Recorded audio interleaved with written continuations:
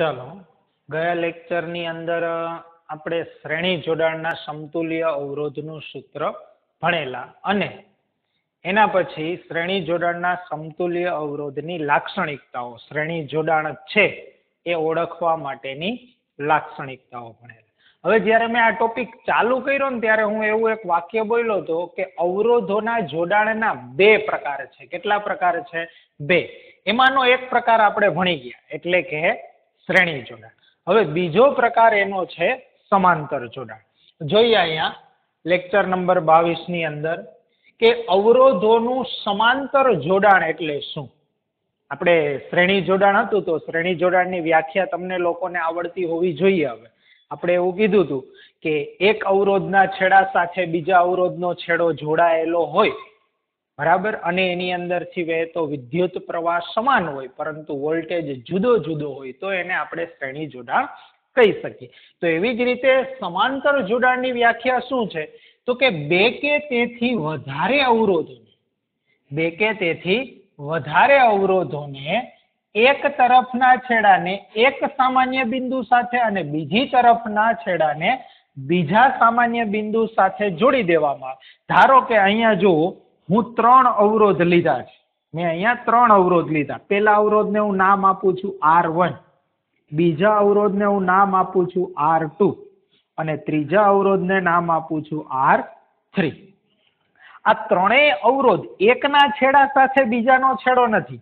એક જે અવરોધ છે, એના સામાન્ય બિંદુ સાથે જોડ્યો છે, બીજાને સામાન્ય બિંદુ સાથે અને ત્રીજાને પણ સામાન્ય બિંદુ આમ, એની અંદર જે એકના સામાન્ય છેડા સાથે બીજાનો સામાન્ય છેડો જોડાયેલો હોય, તો આવા પ્રકારનું જે જોડાણ હોય, એને સમાંતર જોડાણ કહેવાય. એટલે કે પેરેલાલ કહેવાય. શું કહેવાય? પેરેલાલ. એની સમકક્ષ. તો એનો પરિપથ આપણે દોરવો હોય, તો આ રીતે દોરી શકીએ. હવે આની અંદરથી વિદ્યુત પ્રવાહ આઈને વહેવા માટે, જો અહીંયાથી વિદ્યુત પ્રવાહ આઈ આવે છે, આ પેલાનો રસ્તો, આ બીજાનો રસ્તો અને આ ત્રીજાનો. એટલે કે વિદ્યુત પ્રવાહને વહેવા માટે એક કરતા કેવા માર્ગ હોય? એક કરતા વધારે માર્ગ હોય. ધારો કે પેલાની અંદર વિદ્યુત પ્રવાહ જવા માટે આ પેલો રસ્તો, એની અંદરથી આઈ વન જેટલો વિદ્યુત પ્રવાહ, બીજાની અંદર આઈ ટુ જેટલો અને ત્રીજાની અંદર આઈ થ્રી જેટલો વિદ્યુત પ્રવાહ વહે છે. એટલે કે સમાંતર જોડાણમાં વિદ્યુત પ્રવાહને વહેવા માટે એક કરતા વધુ માર્ગ હોય છે. અને દરેક અવરોધના બે છેડા વચ્ચેનો વોલ્ટેજ, આનો જે વોલ્ટેજ હોય એ વોલ્ટેજ કેવો હોય? સમાન હોય. શ્રેણી જોડાણમાં મેં તમને એક વસ્તુ યાદ રાખવા માટે મેં તમને કીધી હતી. અહીંયા પણ યાદ રાખવાનું શું છે? આઈ છે એ કેવો હોય? અસમાન હોય. કેવો હોય? અસમાન. અને વી કેવો હોય? સમાન હોય. શ્રેણી જોડાણ કરતા ઉલટું. શ્રેણી જોડાણમાં વી કેવો હતો? અસમાન હતો અને આઈ કેવો હતો તો કે સમાન એ શ્રેણી જોડાણથી ઉલટું. જો શ્રેણી અને સમાંતર મગજની અંદર બે વિચારતા જજો, કારણ કે આના પછીનો જે પ્રશ્ન છે એ હું તમારી પાસે લખાવડાવીશ. શ્રેણી અને સમાંતર જોડાણનો તફાવત. બરાબર?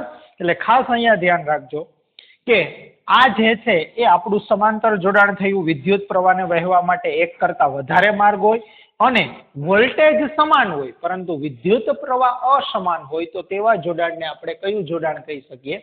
સમાંતર જોડાણ. હવે આપણે એના સમતુલ્ય અવરોધનું સૂત્ર તારવવાનું છે. તો હવે આપણે જે આકૃતિ દોરેલી છે, એ આકૃતિનું આપણે વર્ણન કરીએ. મેં અહીંયા નથી લખેલું. તમારી બુકની અંદર જે એકતાલીસમો પ્રશ્ન છે, એની અંદર લખેલું હશે. આપણે એવું કહી શકીએ કે આકૃતિ ઉપરથી આપણે એવું કહી શકીએ કે અવરોધ આર વન, આર ટુ અને આર થ્રી એ સમાંતર જોડાણની અંદર જોડેલા છે. તેની અંદરથી વિદ્યુત પ્રવાહને વહેવા માટે સ્વતંત્ર માર્ગ છે, એટલે કે જુદા જુદા માર્ગ છે. બરાબર? અને તે દરેક અવરોધના બે છેડા વચ્ચેનો વોલ્ટેજ એ બેટરીના વોલ્ટેજ જેટલો જ છે. અહીંયા તમારા એવો શબ્દ વાપરેલો છે, આનુષાંગિક અવરોધ. કેવો અવરોધ?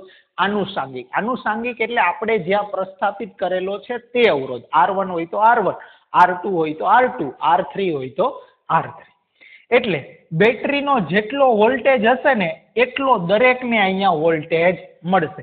ધારો કે અહીંયા આપણે બેટરી બસો ને વીસ વોલ્ટની જોઈડી છે, તો આર વનને કેટલો મળશે? બસો વીસ. આર ટુને કેટલો મળશે? બસો વીસ. આર થ્રીને પણ કેટલો મળશે? બસો વીસ. એટલે કે વિદ્યુત પ્રવાહ જુદો જુદો છે, પરંતુ વોલ્ટેજ કેવો છે બધામાં સમાન હવે જો આ ત્રણ ને બદલે જો હું અહીંયા કોઈ એક એવો અવરોધ જોડું કે જેને આ પરિપથનો શું કહી શકાય? સમતુલ્ય અવરોધ કહી શકાય. એ સમતુલ્ય અવરોધને આપણે આર વડે ઓળખીએ છીએ. પરંતુ આપણે અહીંયા નામ આપશું આર પી કારણ કે સમાંતર જોડાણ છે. સમાંતરને કહેવાય પેરેલલ આપણે અહીંયા આર એસ દર્શાવ્યું હતું શ્રેણીમાં, કારણ કે એને સિરીઝ કહેવાય, એટલે આર એસ અહીંયા પેરેલલ એટલે કે આર પી બરાબર છે?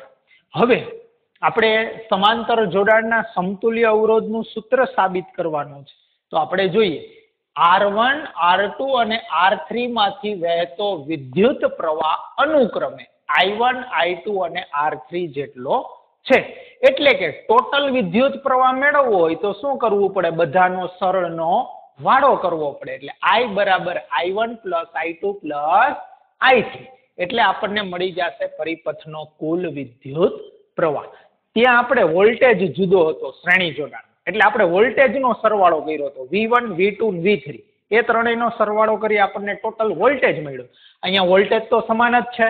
વિદ્યુત પ્રવાહ સમાન છે. તો વિદ્યુત પ્રવાહનો આપણે સરવાળો કરશું એટલે આપણને પરિપથનો કુલ વિદ્યુત પ્રવાહ પ્રાપ્ત થશે. હવે, અવરોધોના બે છેડા વચ્ચેનો વોલ્ટેજ, બેટરીના વોલ્ટેજ જેટલો જ છે. અહીંયા બેટરી જેટલા વોલ્ટની હશે, એટલા જ દરેક અવરોધને વોલ્ટેજ પ્રાપ્ત થતો હશે. હવે, ઓહમના નિયમ અનુસાર આપણે જો વાત કરીએ તો ઓહમનો નિયમ આવું કે છે આઈ બરાબર વીના છેદમાં આર આપણે આવું સૂત્ર હતું ને ઓહમનું, આર બરાબર વીના છેદમાં આઈ આ સૂત્ર, એની અંદર આપણે આઈ ને સૂત્રનો કરતા બનાવ્યું. આઈ બરાબર વીના છેદમાં આરતી શા કારણે આઈ ને સૂત્રનો કરતા બનાવ્યો તો કે આપણે જરૂર કોની છે? આઈની ત્યાં આપણે વીને સૂત્રનો કરતા બનાવ્યો હતો શ્રેણી જોડાણમાં, કારણ કે આપણે વીની જરૂર હતી. બરાબર? એની કિંમતની જરૂર હતી. અહીંયા આપણે કોના કિંમતની જરૂર છે? વિદ્યુત પ્રવાહની. એટલે આપણે એને સૂત્રનો કરતા બનાવ્યો. એટલે આઈ બરાબર વીના છેદમાં આરપી આર એટલે કે અવરોધ. આરપી એટલે કે પેરેલલ સમાંતર જોડાણનો સમતુલ્ય અવરોધ. હવે આ જ નિયમ છે ઓહમનો નિયમ. એ દરેક અવરોધ માટે આપણે લાગુ પાડી શકીએ ને પેલા બીજા અને ત્રીજા. તો પેલા અવરોધનો આઈ કેટલો છે? તો કે આઈ વન જેટલો છે. જો પેલા અવરોધ માટે પેલા અવરોધ માટે આપણે વાત કરીએ, તો પેલા અવરોધનો વિદ્યુત પ્રવાહ કેટલો છે? આઈ વન બરાબર. વોલ્ટેજ કેટલો છે? તો કે ભાઈ વોલ્ટેજ તો બધામાં કેવો છે? સરખો જ છે. એટલે કે આઈ બરાબર વિના છેદમાં અવરોધ. તો પેલાનો અવરોધ કેટલો છે? આર વન છે. બીજા માટે આપણે એવું કરીએ, તો બીજાનો વિદ્યુત પ્રવાહ આઈ ટુ વોલ્ટેજ સમાન, અવરોધ આર ટુ ત્રીજા માટે કરીએ ત્રીજાનો વિદ્યુત પ્રવાહ આઈ થ્રી વોલ્ટેજ સમાન અને અવરોધ આર હવે જો આઈ બરાબર આપણી પાસે કિંમત છે આઈ વન બરાબર છે આઈ ટુ બરાબર છે આઈ થ્રી બરાબર. તો સમીકરણ એક છે જે આપણું, એ સમીકરણ એકમાં આ બધી કિંમત મૂકતા. તો આપણે કિંમત મૂકીએ, તો આઈ બરાબર શું લખી શકીએ? વીના છેદમાં આરપી બરાબર આઈ વન બરાબર શું લખી શકીએ? વીના છેદમાં આર વન પ્લસ વીના છેદમાં આર ટુ પ્લસ વીના છેદમાં આર હવે જુઓ અહીંયા વી છે અને અહીંયા બધે પણ વી છે, તો આપણે વી કોમન કાઢી શકીએ? તો અહીંયા વી કોમન કાઢું તો એકના છેદમાં આરપી વધે. અહીંયા બધેથી વી કોમન કાઢું તો એકના છેદમાં આર વન પ્લસ એકના છેદમાં આર ટુ પ્લસ એકના છેદમાં આર થ્રી. આ બાજુ વી છે, ઓલી બાજુ વી છે, બે વી શું થઈ જાય? કેન્સલ થઈ જાય. તો આપણને આવું સૂત્ર મળે છે. આ જે સમીકરણ આપણને મળ્યું, આ સમીકરણને સમાંતર જોડાણના સમતુલ્ય અવરોધનું સૂત્ર કહે છે. હવે, મુખ્ય વસ્તુ હું તમને કહી દઉં છું, અહીંયા આપણો આ પ્રશ્ન પૂરો થઈ ગયો. પરંતુ શ્રેણી જોડાણ અને સમાંતર જોડાણ, જ્યારે એક્ઝામમાં પૂછે ને, ત્યારે બધાને તકલીફ અહીંથી પડે. બરાબર? આ તો તમને ખબર પડી જાય કે આવી આકૃતિ દોરો, આ સમાંતર જોડાણ છે. હવે અહીંયા V one plus V two plus V three બરાબર વી લેવું કે I one plus I two plus I three બરાબર આઈ લેવું? એ આપણને કઈ રીતે ખબર પડશે? તો કે એ આપણે આ વસ્તુને જો યાદ રાખેલી હશે ને, તો આપણને ખબર પડશે. કે ભાઈ, સમાંતર જોડાણની અંદર વિદ્યુત પ્રવાહ કેવો હોય? અસમાન હોય અને વોલ્ટેજ કેવો હોય? સમાન તો જે અસમાન હોય ને એ આપણે અહીંયા લેવાનું. જો શ્રેણી જોડાણમાં વી અસમાન હતો, તો એનું સૂત્ર આપણે બનાવ્યું.